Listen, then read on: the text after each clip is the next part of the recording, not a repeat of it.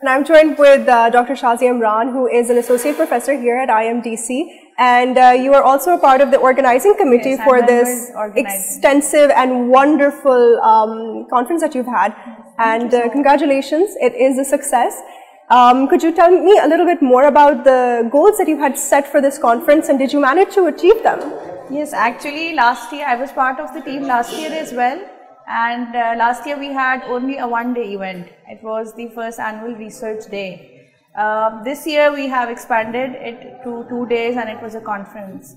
Very tedious and very hectic uh, because there is a lot of work that has to be done prior to the conference, a lot of work. But I think uh, when we see uh, the result, the results that comes out, it's really heartwarming and it uh, always pays off. The results have been very fruitful. Yes, yes, it is. That's wonderful. Participation and uh, again, Professor Dr. Naida Ramhadi is such a good leader. She she's such a humble person and she she leads us beautifully towards our goal.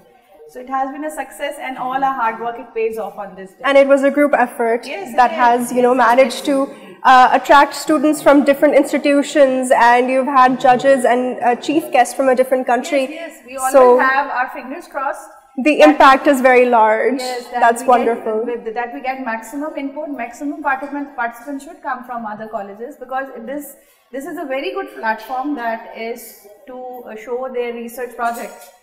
So I think um, it's a huge success if uh, we also cater to other colleges as well, all around Pakistan. That's wonderful. And is there any um, aspiration for the next conference that you Yes, might be able to give us? Any details We or get- hints? Yes, we do get tired a lot, uh, but then when the event it gets successful, we always gear up for the next year. I think the next year would be bigger than this one. Inshallah, inshallah. Is there any, you know, uh, name in the works, a title maybe like No, this year was health and wellness for all ages? No, not yet, but I think we will come out with a better one next time. Inshallah, inshallah. Thank you so much for joining. Thank you.